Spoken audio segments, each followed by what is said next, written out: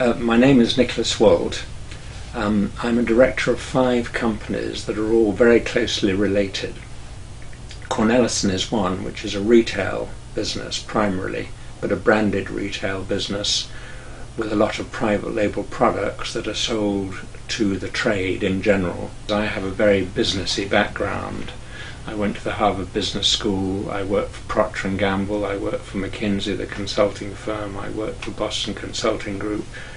And I worked on my own as a strategy consultant.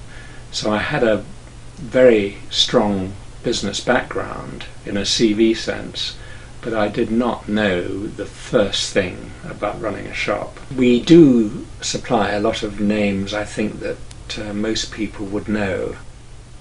Uh, Damien Hirst, much quieter than he was three or four years ago, but incredibly energetic and exciting. We've actually got two or three national cartoonists who come in. Uh, the one I know best is Peter Brook from the Peter Brookes from the Times. I think his work is absolutely exceptional. We are considered to be an art shop, but the real strength of this business is that it is supplying artists, but it's actually supplying artisans. Do you remember when Prince, Prince Charles's car was very badly damaged in a terrible incident on Regent Street in the student riots? the person who got the job of repairing the cosmetics on the car, like there's a thin gold line on the side, came here to get the bronze powder that he was going to use for part of that repair.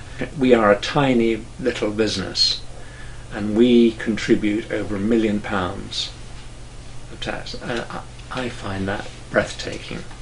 So small businesses are very, very important because we don't make a noise, do we, in Parliament? You know, we're not we're not a problem in that sense. We don't have any power, political power, but actually, financially, we are very, very important. And the government is, although they talk about it, are hopelessly insensitive. Number one, have a really good sense of the customer types you're going to serve. So don't be all things to all people, be some things to some people. Don't be greedy, be very, very selective. That's number one. Number two, don't be in a hurry. The tipping point for us, I think, took 30 years. That may be excessive by today's standards, but I think that's realistic actually. Um, but be patient if you stick to that with that focus and you increase your specialization, 30 years will fly by.